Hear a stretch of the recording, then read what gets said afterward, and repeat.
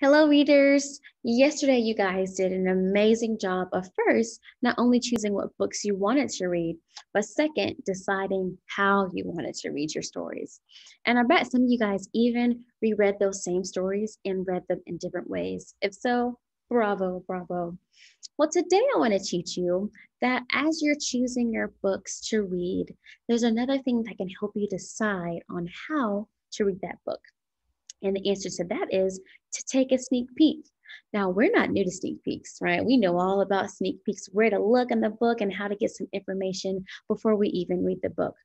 But now we're going to use sneak peeks to help us decide how the book wants to be read. We're going to ask ourselves, hmm, how does this book want to be read? And we're going to use that sneak peek to help us answer that.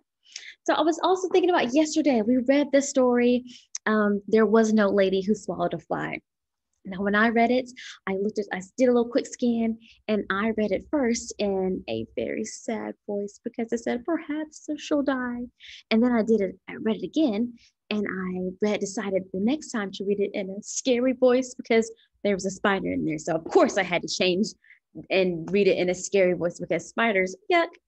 Um, so, and then I was thinking, you know what? That story was actually written in a very silly, playful way. So the next time I read it, I'm going to read it in a playful way because think about it. There was no lady who swallowed a, a fly.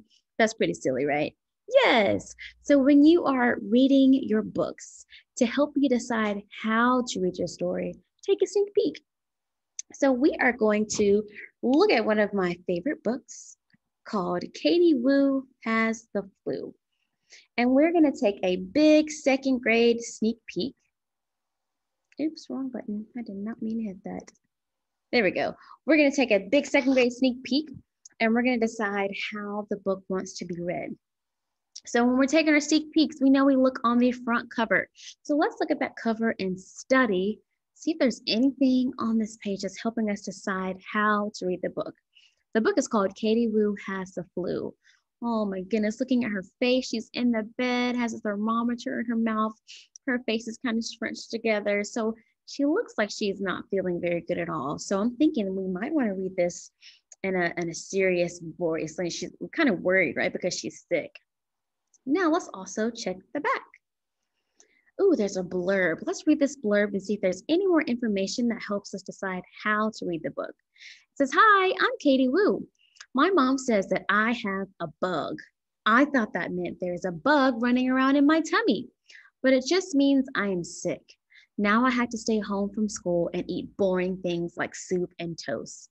Why won't this flu bug just go away? So hmm, now I'm starting to starting to think maybe it's not going to be such a um, sad and serious uh, book. That maybe I should change my voice because she kind of sounds like um, she has to stay home all day and she's bored. So maybe we should read it in a bored and annoyed voice. Maybe so.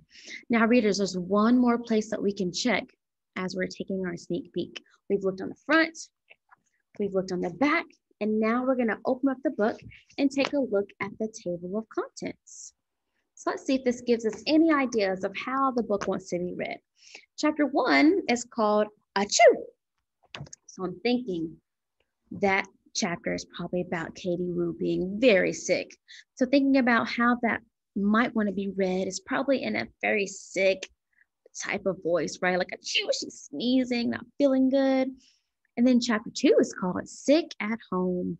And we know from the back blurb that she's bored at home because she has to stay in bed most of the day. So maybe that chapter wants to be read in a bored and annoyed voice. And then chapter three says feeling better.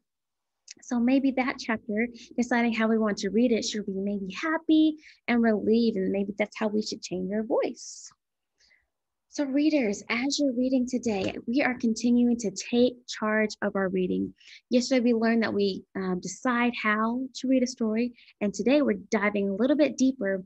We're going to use a sneak peek to help us decide how that book wants to be read. So, now it's your turn. This next book is called Alexander and the Terrible, Horrible, No Good, Very Bad Day. So, just from the cover and the title, go ahead and ask yourself hmm, how does this book want to be read? Tell a partner, how do you think this book wants to be read, just from the front cover Alexander and the Terrible, Horrible, No Good, Very Bad Day.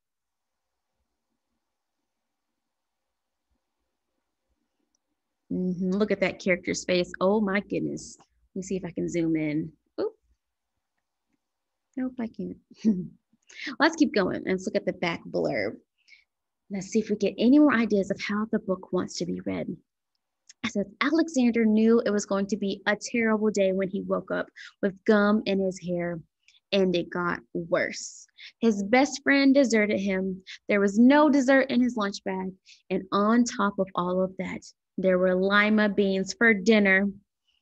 Oh my goodness. I hope that you are thinking what I'm thinking that this book wants to be read in a very frustrating, angry voice because it seems like there's just horrible things going on with Alexander's day.